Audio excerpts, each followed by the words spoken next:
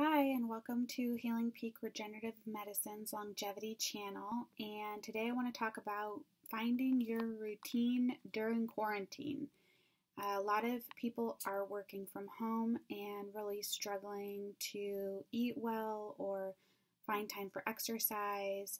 It seems like you would have a lot more time if you were working from home, but a lot of people are really struggling with figuring out how to fit in their, you know, their routines and you know where where do they eat or not eat? And typically what i see um, just in general is that there are two types of people.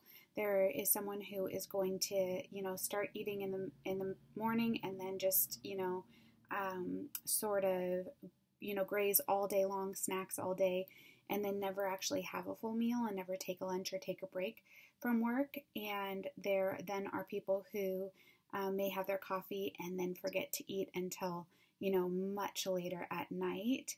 And, uh, or if they do eat, they'll sit at their desk and work through lunch and eat their food while they're working. And so I just want to talk about these two different types of situations.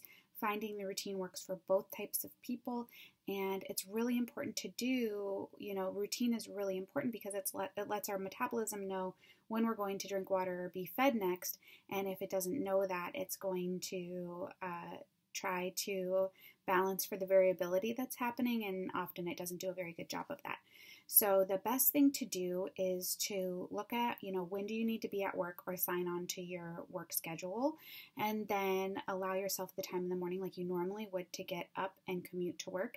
And if you are not an intermittent faster, then have your regular coffee and breakfast or snack and then schedule a timer, you know, for that next snack time and as and then schedule you know a lunchtime whenever you would have normally taken lunch. You know get up out from wherever it is that you're working and actually go take your lunch whether you're going to exercise during lunch or whether you're going to actually eat during lunch. And uh, the other thing i have people do is prep their food the night before. So you know prep your food like you would if you weren't at home. And so if you don't have enough Tupperwares for this, just go, you know, get some at Costco or have Costco deliver Tupperware to you.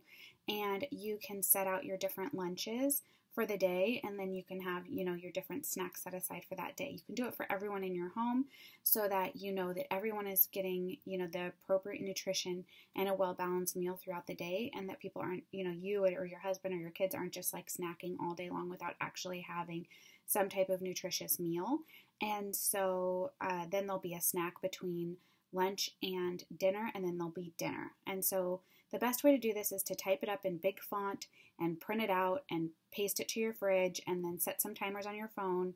Uh, so that you know, oh yeah, this is when I'm going to get up and take a break, whether I'm going to eat a small handful of nuts or I'm going to get some water or walk around the yard or walk around my block or whatever it is um, you know, so that you get up, you get a snack, and you can go back to work after that. And the reason why this is so important is because uh, it, you know, people are waking up at different times than they used to because they don't have to commute. Or I'm hearing a lot of, you know, I'm taking a nap in the middle of the day and I never took a nap before. Uh, some people are being a lot more active, but most people are being less active because they had a schedule of, oh, I'm going to go to the gym at this time and do this routine. And, you know, you may not be able to do your normal routine, but there's a lot of workouts that you can do at home, you know, just basic squats with 10 pound weights, or obviously if you're, you know, if you're physically capable to do these things, um, otherwise modify them you know, modified push ups, uh, or you can just take long walks, which you maybe weren't able to do before. I'm in Seattle, and so the weather is gorgeous here to be able to do that. But if you're in a place where it's not, then, you know, doing a small little routine to get your blood moving, like some jumping jacks and some push ups, and, you know, maybe some crunches and some squats or something just with small weights, just to get your blood pumping even for 10 minutes a few times a day is a big change from just sitting throughout your entire day. And then the other thing I would say, you know, tip for this situation is, you know, designate an area where you work and let that be the area you go to work so that you can separate your your family life and your relaxation time away from your work. So that you can still have those really nice boundaries between work and uh, family and, and being at home, it's it becomes difficult to put the work down and walk away if your work follows you all over your house.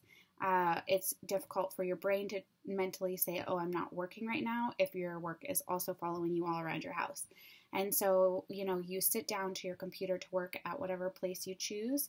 And that's just good, you know, work life balance, or we'll call it quarantine hygiene, you know, work hygiene, because you, your body and your mind, you know, they need that separation from when your work is done. And so, no matter who you are, you know, what types of struggles you're having, whether it's too much work or not working enough, setting this routine for your day of like when are your work hours, when are you done with work, when are you going to eat, when are you going to exercise is massive. And you know, you may not hit the mark every day, but uh, you will you will do better than you've been doing if you're struggling with this.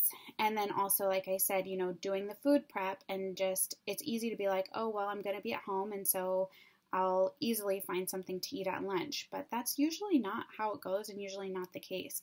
And so if it's already prepped and ready for you to go, then you know you're going to get a nutritious meal. It's already done for you. You don't have to think about it um, in the middle of your workday or take think, oh, well, it's going to take too much time for me to go prepare myself something and eat it and then get back to work.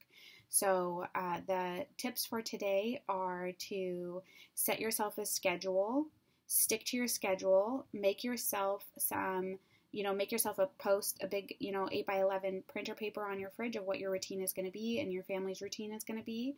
Uh, kids can use this too for that, you know, the schooling at home. And then uh, make yourself that those alarms on your phone to let you you know to remind you reminders on your phone to let you know when to get up and do those things if you're obviously not going to be looking at your fridge all day long and seeing that routine so you want to make yourself some extra little notes here there post it maybe if you're not a an alarm phone person and you know really stick to it and then make sure at some point or multiple points throughout the day you're getting some activity either one you know long walk or a little broken, you know, 10 minutes here and there of some type of thing that gets your heart rate going uh, so that you can get blood pumping. And this will also help you sleep better. You know, if you're snacking all throughout the day, your metabolism is not going to regulate well and your sleep is not going to be as good either. You'll be snacking right before bed. So, um, not great, not great for your metabolism to do that. So, I hope this helps you guys uh, make a routine during your quarantine and helps you with work life balance and how to eat nutritious meals uh, throughout your work your work day or to make sure you get fed throughout your work day instead of snacking. And you know we are a small business so it does help us when you like subscribe or share our video if you know anyone that could use just these little quick tips to help their work life balance during quarantine. I would love for you to share it with them. And that is all we have for you today. Take care